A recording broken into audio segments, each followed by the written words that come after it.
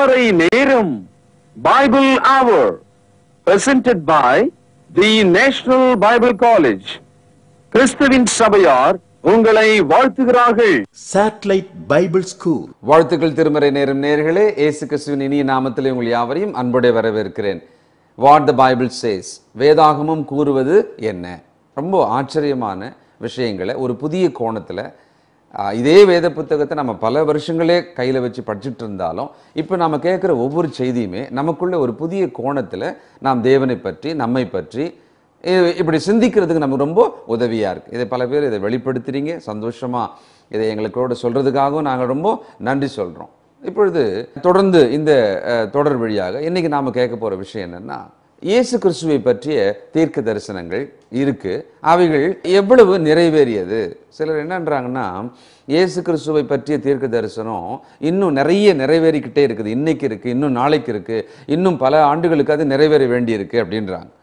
ஆனால் இயேசு கிறிஸ்து தம்மை பற்றி சொல்லும் பொழுது லூக்கா இருபத்தி நான்காம் அதிகாரம் நாற்பத்தி நான்காவது வசனம் அதில் மோசே முதலாக சங்கீதக்காரனாகிய அந்த தாவிது கூட இப்படி எல்லாருமே சொன்ன தீர்க்க தரிசனங்கள் அவரை பற்றிய விஷயங்கள் நிறைவேறுகிறது என்று அவர் அவர் இருந்தப்பவே சொல்லியிருக்கிறார். அதுக்கு பிறகு அப்போசல் வழியாக நாம் பார்க்கும் பொழுது புதிய ஏற்பாடு ரொம்ப தெளிவாக இவைகள் எல்லாம் அவரை பற்றிய தீர்க்க தரிசனங்கள் எல்லாம் அதாவது மொத்தமாகவே பைபிளில் பார்த்தோம்னா ஆதியாமத்திலிருந்து இயேசு யார்? எப்பொழுது வருகிறார் என்ன செய்ய போகிறார் எதை நிறைவேற்றப் போகிறார் அப்படின்றது தான் இந்த வேதா முழுவதுமே இருக்கிற ஒரு முக்கியமான விஷயம். இயேசு கிறிஸ்துவுக்குள்ளே எல்லாம் நிறைவேறி இருக்கிறது. இந்த ஒரு குழப்பம் நமக்கு நீங்குமானால் இன்றைக்கி நானும் தீர்க்கதரிசி நீயும் தீர்க்கதரிசின்னு சொல்லிக்கிட்டு நிறைய விஷயங்களை பேசுகிறாங்க இல்லையா? அவங்க யாரும் நம்ம அடையாளம் கண்டுபிடிச்சிடலாம். அதனால இந்த செய்தி நமக்கு இயேசு கிறிஸ்துவுக்குள் எல்லா தீர்க்கதரிசனமும் நிறைவேறிருக்கிறது என்பது ஒரு தெளிவை உண்டாக்கும் என்று நம்புகிறேன். சரி போகலாங்களா இந்த நாளில் நம்முடைய செய்தியாளர் தேசிய வேதாகம கல்லூரினுடைய கல்வித்துறை தலைவர் டாக்டர் பீட்டர் சோலமன் ஐயா அவர்கள். அளவற்ற அருளாளனும் நிகரற்ற அன்புள்ளவருமா இருக்கிற கர்த்தராகி இயேசு கிறிஸ்துடைய நாமத்தில் எல்லா புகழும் அவர் ஒருவருக்கே என்று சொல்லி இந்த நற்செய்தியை நான் துவங்குகிறேன். தோழர்களே கண்ணித்துக்குரியவர்களே விசுவாசமிக்க பரிசுத்தவான்களே என்னுடைய நெஞ்சார்ந்த வாழ்த்துதலை உங்களுக்கு தெரிவித்து நீங்கள் தேவனுடைய வார்த்தையை கற்கவும் அதன்படி நடக்கவும் உங்களை நான் ஆசீர்வதிக்கிறேன். இந்த நாட்களில் வேதாகமம் கூறுவது என்ன? வாட் பைபிள் சேஸ் என்ற தொடரை நாம் கேட்டு வருகிறோம். அந்த வகையில் இன்றைக்கு ஒரு முக்கியமான செய்தியை நீங்கள் கவனிக்கப் போகிறீர்கள். அது என்னன்னா இந்த பைபிளை நாம் எடுத்து படிக்கும்போது ஒரு முக்கிய தகவலை பார்க்கிறோம். அதுக்கு பேர் தீர்க்க தரிசனம் தீர்க்க தரிசன நிறைவேறுதல். ப்ராஃபஸி ப்ராஃபட்டிக்கல் ஃபுல்ஃபில்மெண்ட் இந்த வேதாமத்தினுடைய அதிசயமான ஒரு பகுதியாக இருக்கிறது. இப்போ உலகத்தில் பதினெட்டு மதங்கள் இருக்கிறது. அதில் மூன்று பெரிய மதங்கள் இருக்கிறது. எல்லா மதங்களையும் நாம் கவனிக்கும் போது அதில் ஒரு தீர்க்க தரிசன பகுதி கிடையாது. இதை நான் சொல்லும்போது வேறு மதத்தை மார்க்கத்தைச் சேர்ந்தவர்கள் கண்ணியத்தோடும் பொறுமையோடும் இதை கிரகித்துக் கொள்ள வேண்டும். There is no prophecy and prophetical fulfilment in other religion வேதாமத்தில் மட்டும்தான் இப்படிப்பட்ட ஒரு ஆச்சரியமான விஷயம் இருக்கிறது. இந்த அறுபத்தி ஆறு புத்தகங்கள் அடங்கிய இந்த புத்தகத்தில் மொத்தமாக மூன்றில் ஒரு பகுதி தீர்க்க தரிசன பகுதியாக இருக்கிறது. ரொம்ப ஆச்சரியமாக இருக்கு இல்லையா உங்களுக்கு?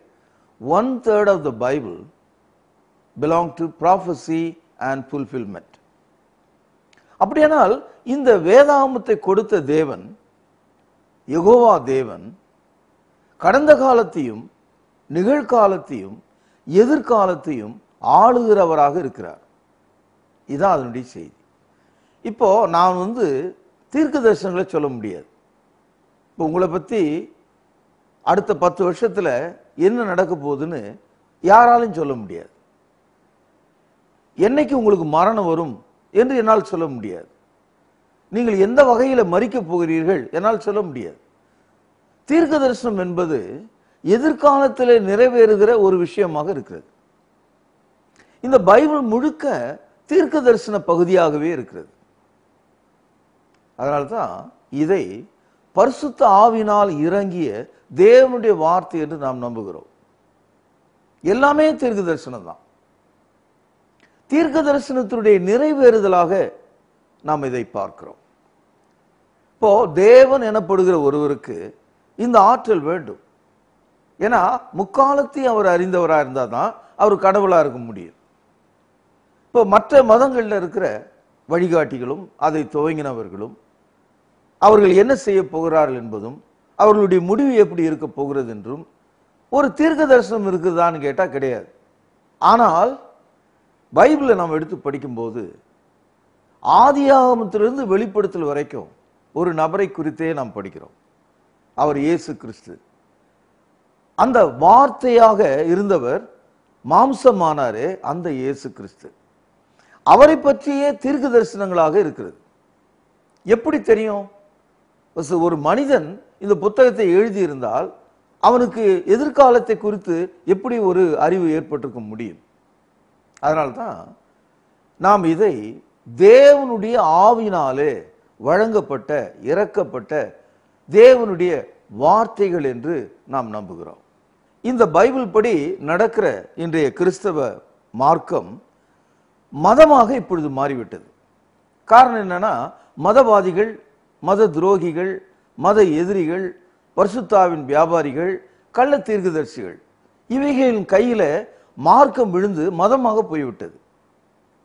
இந்த புதிய ஏற்பாடு பைபிளினுடைய இரண்டாவது பகுதி வெளிப்படுத்தல் என்ற ஒரு புத்தகத்தோடு நிறைவு பெறுகிறது. அதாவது பைபிளினுடைய கடைசி தீர்க்க தரிசன பகுதி வெளிப்படுத்தல். இது வந்து தொண்ணூத்தி எட்டாவது வருஷமே எழுதி முடிக்கப்பட்டு விட்டது. கிறிஸ்தவர்கள் இந்த பைபிளை கையில் எடுக்கும் போதெல்லாம் இதை தேவனுடைய வார்த்தை என்றும் தீர்க்க தரிசன வசனங்கள் என்றும் நாம் நம்புகிறோம்.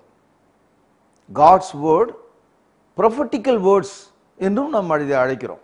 தீர்க்க தரிசன வசனங்கள். வெளிப்படுத்தலுக்கு பிறகு தீர்க்க தரிசன வசனங்கள் நமக்கு கிடையாது. தீர்க்கதரிசிகள் என்று யாராவது ஒருவன் சொல்லிக் கொண்டிருந்தால் அவன் அது எப்போதும் அவன் சொல்லிக்கிட்டே இருப்பான்.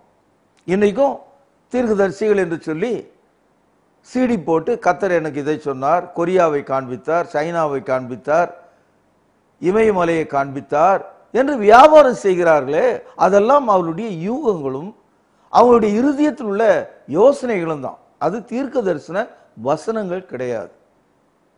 இதை நீங்கள் முதலில் புரிந்து கொள்ள வேண்டும். வெளிப்படுத்தல் இருபத்தி ரெண்டாம் அதிகாரம் பதினெட்டு பத்தொன்பது வசனங்கள்.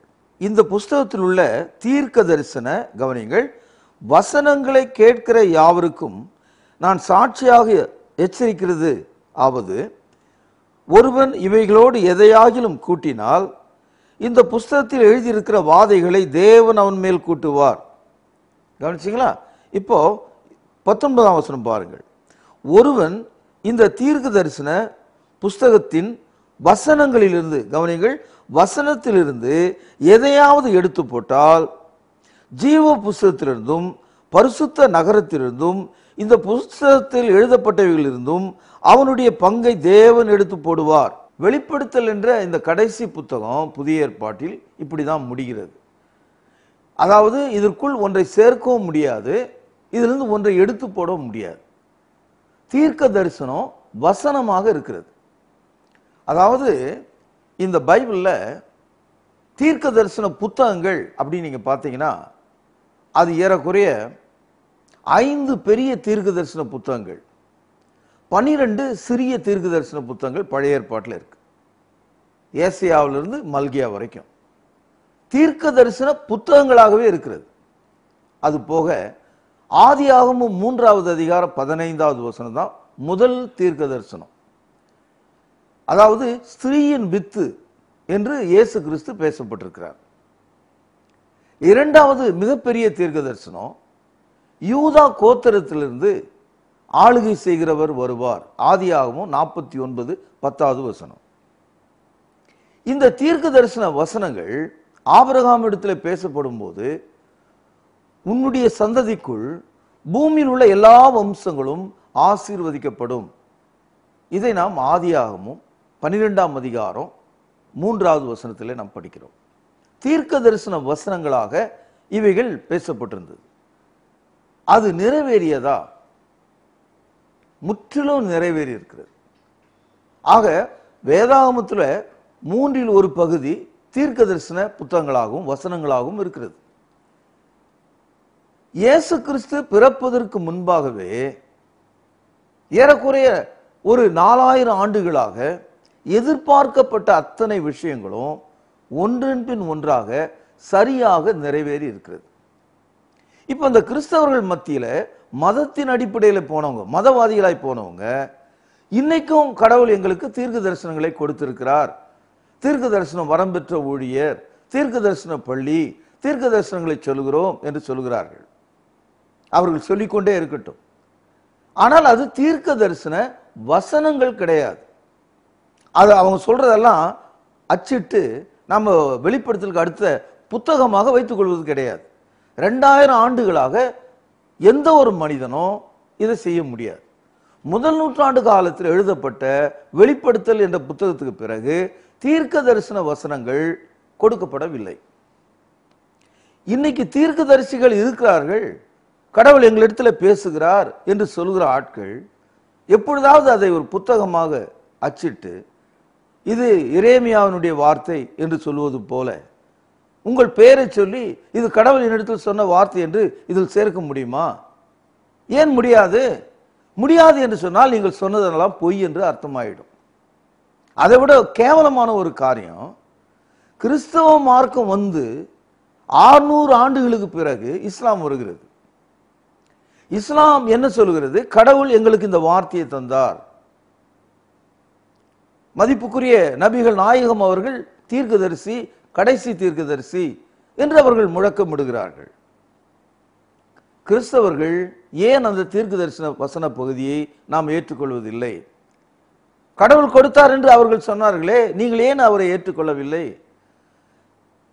அவரை ஏற்றுக்கொள்ள வேண்டாம் என்று சொல்கிற நீங்கள் நீங்களும் தீர்க்கதரிசிகள் என்று ஏன் இப்படி ஏமாற்றிக் கொண்டிருக்கிறீர்கள்? இதை நீங்கள் கவனிக்கணும். இந்த கிறிஸ்தவ மார்க்கம் இதை கவனிக்கணும். கிறிஸ்தவ மார்க்கத்தில் நீங்கள் இருந்தால் இந்த பைபிள் போதும்னு நினைப்பீங்க.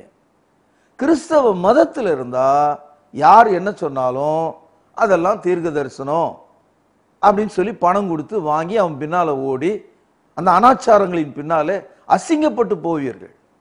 சகோதரர்களே கண்ணித்துக்குரியவர்களே இரையச்சம் உள்ளவர்களே வானத்தை நோக்கி பார்த்து இயேசுவின் வருகைக்காக காத்து கொண்டிருக்கிற சமுதாயமே நீங்கள் தேவனுடைய வார்த்தையை கவனிக்க வேண்டும். தீர்க்க தரிசனம் என்று சொன்னாலே எதிர்காலத்தை நோக்கி. அது ஒரு நிறைவேறுதலாக இருந்தால் தான் அது தீர்க்க தரிசனம் நிறைவேறனா அது பேர் பேச்சு. இட்ஸ் ஜஸ்ட் எ டாக் இந்த ப்ராஃபஸி என்பது it always shows a fulfilment நீங்கள் எந்த தீர்க்க தரிசனத்தை எடுத்தாலும் நிறைவேறியது. தீர்க்க தரிசனம் நிறைவேறியது என்றெல்லாம் புதிய ஏற்பாட்டை நீங்கள் படிச்சுக்கிட்டே வருவீங்க. சில முக்கியமான தீர்க்க தரிசன பகுதியை உங்களுக்கு நான் சொல்கிறேன் ஆதியாகமும் மூன்றாவது அதிகாரம் பதினஞ்சாவது வருஷத்தை நீங்கள் பார்த்தீங்கன்னா ஸ்திரீயின் வித்து என்று பேசப்பட்டிருக்கார். அதே கலாத்தியர் நாலாம் அதிகாரம் ஐந்தாவது வசனம் படிச்சீங்கன்னா ஸ்திரீயினிடத்துல பிறந்தவர் என்று இயேசு அதை நிறைவேற்றினார் என்று நாம் பார்க்கிறோம்.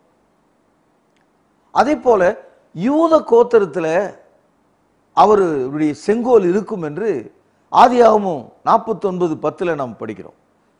நீங்க மற்ற இரண்டாம் அதிகாரம் முதல் ரெண்டு வருஷங்களில் பார்த்தீங்கன்னா யூதருடைய ராஜா எங்கே? ஏனென்றால் ராஜாவின் கையில தான் செங்கோல் இருக்கும். அவர் ராஜ குடும்பத்தில் பிறப்பார் தீர்க்கதரிசனம் சொல்லப்பட்டது. இது ரெண்டு சாமியல் ஏழாம் அதிகாரம் பதினாலாவது வருஷத்தில் நாம் படிக்கிறோம். இயேசு கிறிஸ்து ஒரு ராஜாவாக இருந்தார். அவர் யூத கோத்திரத்திலே தாவிதனுடைய குடும்பத்தில் வந்தார் என்பதை மத்திய முதலாம் அதிகாரத்தில் அவருடைய பிறப்பு அட்டவணையில் நம்ம பார்க்கிறோம். இயேசு ஆவிக்குரிய ராஜா என்று தன்னை மிக தெளிவாக பிலாத்துக்கு முன்பாக அறிவிக்கிறார். பிலாத்து அவரை பார்த்து கேட்டார் உன்னுடைய ராஜ்யம் எங்கே? என்னுடைய ராஜ்யம் உலகத்துக்குரியது அல்ல. இயேசு தெளிவாக சொன்னார். ஆக ஆவிக்குரிய ராஜாவாக அவர் இருக்கிறார். இயேசு இந்த இடத்துல தான் பிறப்பாருன்னு பூமியினுடைய இவ்வளவு பெரிய பரப்பில் இந்த இடத்துல பிறப்பாருன்னு பின் பாயிண்டா சொல்லியிருக்கு. மீகா ஐந்தாம் அதிகாரம் இரண்டாம் வசனத்தில் நீங்க பார்த்தீங்கன்னா மிக சிறிய ஆயிரம் பட்டணங்களில் ஒரு சிறு பட்டணமா இருந்த பெத்லேஹேம் என்ற ஊரில் அவர் பிறப்பார் என்று சொல்லப்பட்டது. அதே மாதிரி அவர் பெத்லெகேம்ல பிறந்தார். அவருடைய ஊழியத்தை பற்றிய தகவல்கள் ஏசையா பதினோராம் அதிகாரம் முதல் நான்கு வசனங்களை படிக்கிறோம். எப்படிப்பட்ட ஊழியங்களை அவர் செய்வார்னு. அந்த ஊழியங்கள் எல்லாம் மத்திய ஐந்து ஆறு ஏழாம் அதிகாரத்தில் அவருடைய ஊழியத்தினுடைய சான்றுகளை நாம் பார்க்கிறோம். அவருடைய சொந்த தோழனாலே அதாவது ஒரு அப்போசனாலே யூதாஸ் காரித் என்பதனாலே அவர் காட்டி கொடுக்கப்படுவார் என்பதை சங்கீதம் நாற்பத்தி ஒன்பது ஒன்பதாம் வசனத்தில் பார்க்கிறோம். அவரை காட்டி கொடுக்கிறவன் அவரை முப்பது வெள்ளிக்காசுக்காக காட்டி கொடுக்கிறான் என்ற தகவலை சகரியா பதினோராம் அதிகாரம் பன்னிரெண்டாம் வசனத்தில் பார்க்கிறோம். இயேசு கிறிஸ்து இந்த விதமாக பாடுபட போகிறார் சிலுவையிலே. இந்த காட்சியெல்லாம் நீங்க தெரிஞ்சுக்கணும்னா சங்கீதம் இருபத்தி ரெண்டை படித்து பாருங்கள். அவர் எவ்விதமாக சிலுவையிலே தொங்குகிறார் என்று பாருங்கள். அவருடைய மரணம் கள்ளர்கள் மத்தியிலே நிகழ்ந்தது. ஏசியா ஐம்பத்தி மூன்றாம் அதிகாரம் பத்தாவது வசனம். ஒரு புதிதாக வெட்டப்பட்ட ஒரு ஐஸ்வர்யானுடைய கல்லறையில அவருடைய சரீரத்தை அடக்கம் செய்தார்கள் என்ற தகவலை ஏசை ஐம்பத்தி மூன்றாம் அதிகாரம் ஒன்பதாவது வசனத்திலே பார்க்கிறோம். இயேசு கிறிஸ்து அடக்கம் பண்ணப்பட்ட போது அவருடைய சரீரம் அழுகாது அழியாது. அவர் மறித்தோர்ந்து எழுந்திருப்பார் என்று சொல்லப்பட்ட அந்த தீர்க்க தரிசனம் சங்கீதம் பதினாறு பத்தில் சொல்லப்பட்ட அந்த தீர்க்க தரிசனம் அமிதமாகவே நிறைவேறினதை நம்ம பார்க்கிறோம். இயேசு கிறிஸ்தனுடைய ரத்தம் சிந்தியதனாலே சபையானது எவ்விதமாக ஸ்தாபிக்கப்பட போகிறது என்ற தீர்க்க தரிசனம் சகரியா ஏழாம் அதிகாரம் பதிமூன்றாவது வசனத்தில் சொல்லப்பட்டது. மத்தேயு பதினாறாம் அதிகாரம் பதினெட்டாவது வசனத்தில் நிறைவேறினதையும் அதனுடைய விளைவை எபேசியர் முதலாம் அதிகாரம் இருபத்தி மூன்றாவது வசனத்திலும் நாம் பார்க்கலாம்.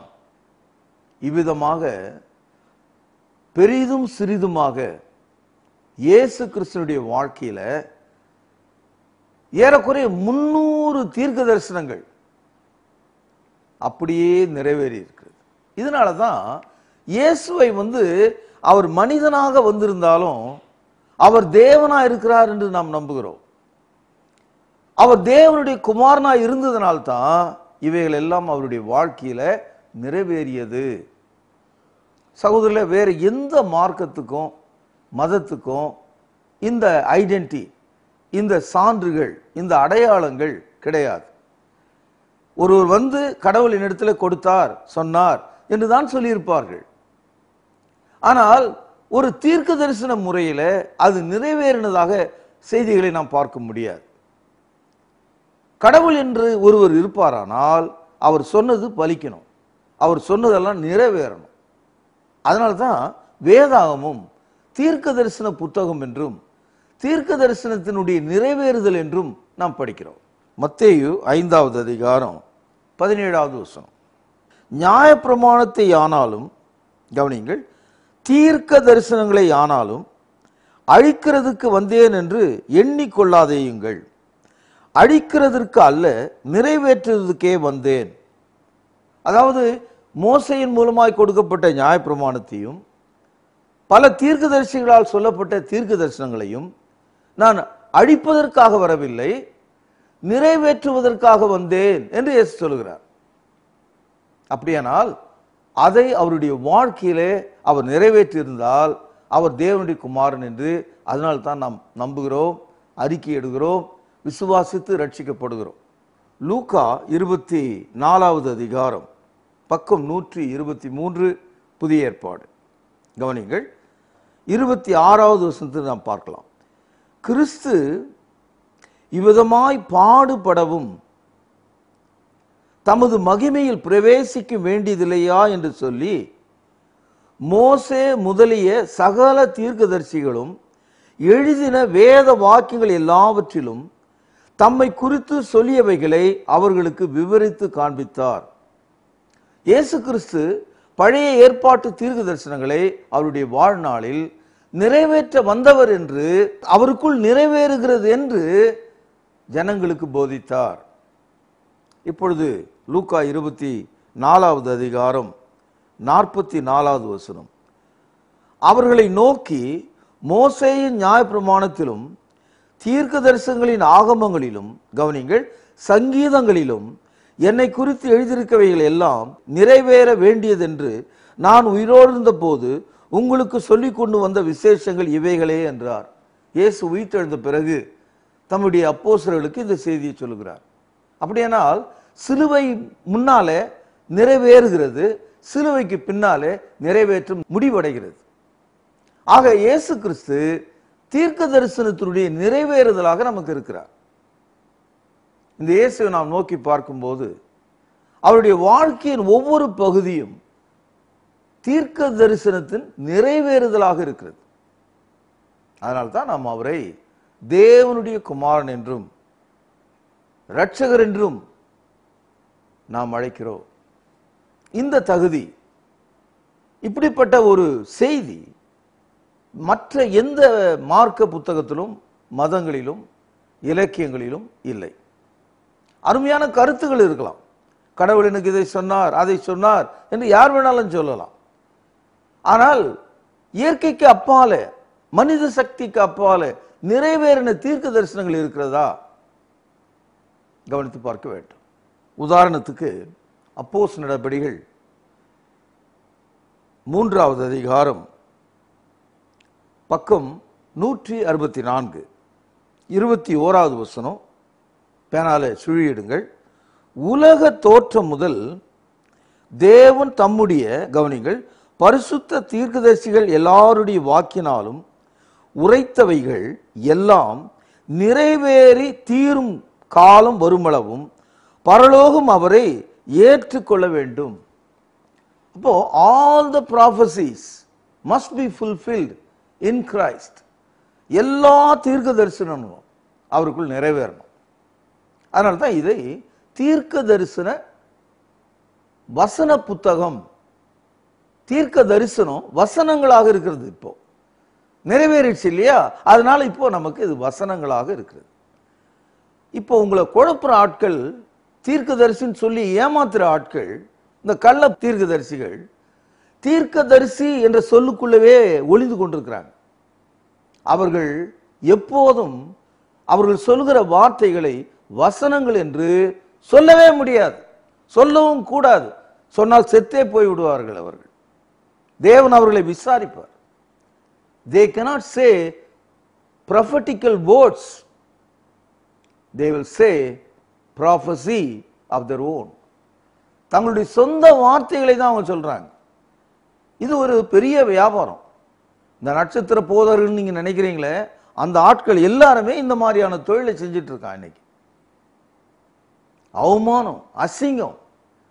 கிறிஸ்தவ மார்க்கம் இங்கே பழிக்கப்படுவதற்கு ஒரு காரணம் தீர்க்க தரிசன வசனங்களை விட்டு அவர்கள் கள்ள தீர்க்க தரிசிகள் பின்னால் போனதுனால தான் இன்றைக்கு மற்ற மதத்தினருக்கு நம்மால் நற்செய்தி சொல்ல முடியல. வெளிப்படுத்தலுக்கு பிறகு தேவனுடைய வார்த்தை இல்லை என்று சொல்லி இருந்தால் நிறுத்தி இருந்தால் அங்கேயே சபை நின்று இருந்தால் இந்த புத்தகம் இன்றைக்கும் எல்லா மனுஷருக்கும் வேண்டிய வார்த்தைகளாக இருந்திருக்கும். சகோதரில் தொடர்ந்து பாருங்கள் இருபத்தி ரெண்டாம் வசனம். மோசே பிதாக்களை நோக்கி உங்கள் தேவனாகிய கர்த்தர் என்னைப் போல ஒரு தீர்க்கதரிசி உங்களுக்காக உங்கள் சகோதரிலிருந்து எழும்ப பண்ணுவார். அவர் சொல்லும் எல்லாவற்றுக்கும் அவருக்கு செவி கொடுப்பீர்களாக. அந்த தீர்க்கதரிசியின் சொற்கேளாவதன் எவனோ அவன் ஜனத்தில் இராதபடிக்கு நிர்மூலமாக்கப்படுவான் என்றான். இந்த பகுதியை உபாகமும் பதினெட்டாம் அதிகாரம் பதினைந்தாவது வசனத்தில் நீங்கள் பார்க்கலாம். அதாவது மோசே உயிரோடு இருந்த காலத்தில் இஸ்ரவேலர்களுடைய குடும்பத்துக்குள்ள மோசை போல ஒரு தீர்க்கதரிசியை தேவன் எழும்ப பண்ணுவார் என்று சொல்லிட்டு நான் சொன்னதை நீங்கள் கேட்கலாம் கூட பரவாயில்ல. ஆனால் அவர் சொன்னதை கேட்காம போனீங்கன்னா நீங்கள் இருக்கவே மாட்டீங்க. நீங்கள் அழிந்து போவீங்க அப்படின்னு சொன்னார்.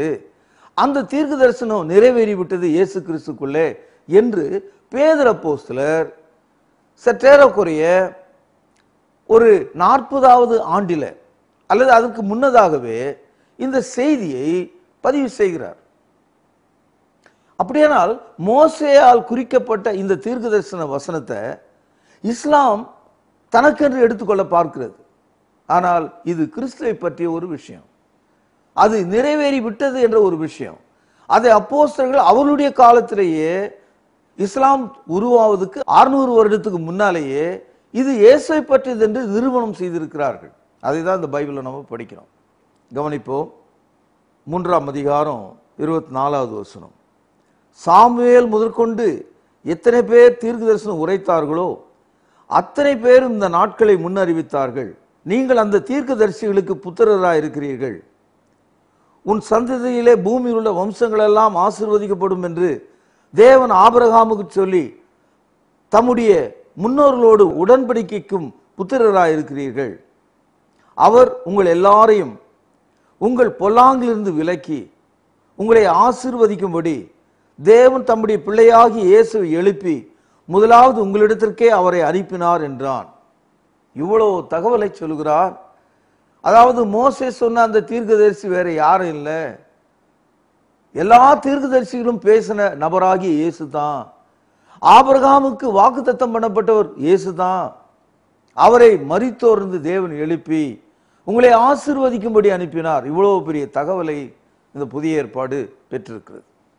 இதனால தான் வேதாமத்தை தீர்க்க தரிசனங்களின் புத்தகம் வேதாமத்தில் உள்ள வசனங்கள் தீர்க்க தரிசன வசனங்கள் என்று நாம் அழைக்கிறோம். எனவே அன்புக்கும் பாசத்துக்கும் உரிய கண்மணிகளே தோழர்களே இந்த நாளில் நான் உங்களிடத்தில் எடுத்து காண்பித்தவைகள் பைபிள் இருக்கிறதா என்று முதல்ல பார்த்துங்க அடுத்தது நான் சொன்ன கருத்துகள் கிறிஸ்தவத்தை ஸ்தாபிப்பதற்காக இருக்கிறதா அல்லது அழிப்பதற்காக இருக்கிறதா என்று எண்ணி பாருங்கள். மூன்றாவது இந்த கருத்துக்களை நீங்கள் வாங்கி உங்கள் அஸ்திவாரமாக விசுவாசத்துக்கு வைத்துக் கொள்ளாவிட்டால் கிறிஸ்தவ மார்க்கும் கற்பனையாக போய்விடும். தேவனுடைய வார்த்தையின்படி செய்கிற மனுஷன் கண்மலையின் மேலே அஸ்திவாரம் போடப்பட்ட ஒரு வீட்டை போல் இருப்பான் என்று இயேசு சொன்னாரே அதை நினைத்துக் கொள்ளுங்கள். கத்தராக இயேசு கிறிஸ்துடைய கிருபையானது உங்கள் அனைவரோடும் இருப்பதாக பிரார்த்தனை செய்வோம். மகா பரிசுத்தனை எங்கள் அன்பான தகப்பனே இந்த நாளில் எடுத்து காண்பித்த இந்த வேத பகுதியை மக்கள் புரிந்து கொள்ளவும் உணர்ந்து கொள்ளவும் கடைசி காலத்தில் விசுவாசம் உள்ளவர்களாய் வாழவும் உதவி செய்ய வேண்டும் என்று கத்ராகி இயேசுவின் நாமத்திலே ஜெபத்தை கேட்டருளும் பரிசுத்தமுள்ள எங்கள் நல்ல தகப்பனே. ஆமேன். ஆண்டவராகி இயேசு கிறிஸ்துவின் இனிய நாமத்திலே திருமறை நேர நேர்களுக்கு மீண்டும் காலை வாழ்த்துக்கள். நேர்களே வேதாகமம் கூறுவதென்ன? வாட் பைபிள் சைஸ் என்ற தொடரில் அற்புதமான செய்தியை இந்த நாளில் நீங்கள் கேட்டிருக்கிறீர்கள். அதாவது தீர்க்க தரிசனங்கள். தீர்க்க தரிசனங்களை பற்றி இன்றைக்கு கிறிஸ்தவ உலகில் வெவ்வேறான கருத்துக்கள் நிலவுகிறது. ஆனால் இந்த திருமறை நேரத்தினுடைய நோக்கம் கிறிஸ்தவ விழிப்புணர்வு நிகழ்ச்சியினுடைய நோக்கம் நடுநிலையான செய்தி யாரையும் புண்படுத்தவோ காயப்படுத்தவோ அல்ல.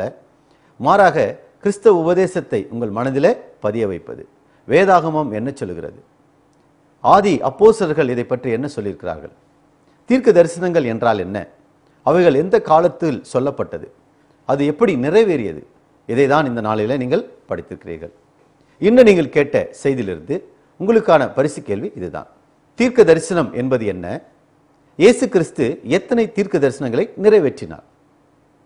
முதல்ல கேள்வி எழுதிக் கொள்ளுங்கள். அதை படியுங்கள். புரிந்து கொண்டு சரியான பதிலை எழுதுங்கள். தீர்க்க தரிசனம் என்பது என்ன?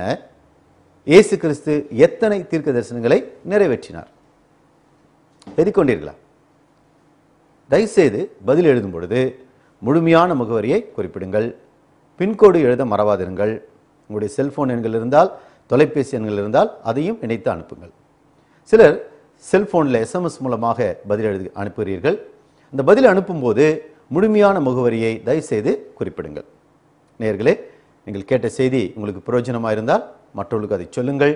இதை பற்றி நீங்கள் கூடி வருகிற சபைகளில் விவாதம் செய்யுங்கள். வேதம் இப்படி சொல்லுகிறதே இந்த நிகழ்ச்சியில் இப்படி நாங்கள் கேட்டோமே என்று ஆராய்ந்து பாருங்கள். வீட்டில் இருந்தபடியே தமிழ் மற்றும் ஆங்கில மொழிகளில் அஞ்சல் வழி வேத பாடத்தை படித்து பயன்பெறுங்கள். ஆவிக்குரிய புத்தகங்கள் இருக்கிறது. இறையில் இலக்கணம் வேர்வை சக்தி கிறிஸ்துவின் சபை போன்ற புத்தகங்கள் ஆங்கிலத்தில் church of Christ Christian anthropology போன்ற புத்தகங்கள் தேவைப்படுவோர் தொடர்பு கொள்ளுங்கள். யூடியூப்பில் பார்க்க விரும்புகிறவர்கள் back to the Bible chapter என்று டைப் செய்தால் எண்பது செய்திகள் வரிசையாக கிடைக்கும். பார்த்து பயன்பெறுங்கள். இது நிகழ்ச்சியை பற்றிய கருத்துக்களை தொடர்ந்து எங்களுக்கு எழுதுங்கள். உங்களுடைய ஜெப குறிப்புகளுக்காக நாங்கள் தொடர்ந்து ஜெபித்து வருகிறோம். கர்த்தர் பதில் கொடுப்பார். தேவ கிருபையும் சமாதானமும் உங்கள் அனைவரோடும் இந்த நாள் முழுவதும் இருப்பதாக. தொடர்பு கொள்ள வேண்டிய முகவரி திருமறை நேரம் ஐம்பத்தி எட்டு சர்ச் தெரு குமரன் நகர் சென்னை ஆறு லட்சத்தி எண்பத்தி இரண்டு தொலைபேசி எண் பூஜ்ஜியம் நான்கு நான்கு இரண்டு ஐந்து ஐந்து பூஜ்ஜியம் பூஜ்ஜியம் எட்டு எட்டு இரண்டு செல்போன் ஒன்பது மூன்று எட்டு ஐந்து ஐந்து பூஜ்ஜியம் பூஜ்ஜியம் எட்டு Amen. Amen.